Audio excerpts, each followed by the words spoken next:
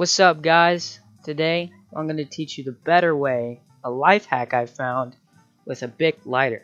A better way to light the lighter. So, what you got to do is, so it, every Bic lighter has this child protection guard. Uh, just so, and it's kind of hard to light if you get a new one. This one I've been using, so uh, you know it's pretty easy to light. But if you want a really easy light, I got the life hack just for you. So, so you see that grid? You see that grid right there?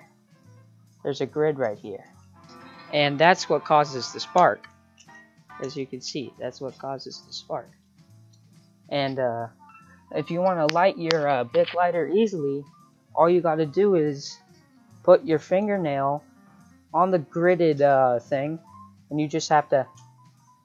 There you go. There you go. See that? There you go really easier if you get a new Bic lighter. That's all you gotta do. See? I'll do it from, from the side. I'll do it from a side angle.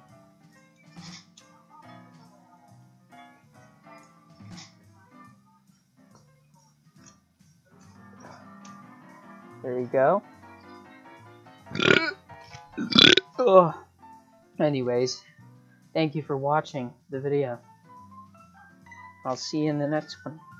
Peace.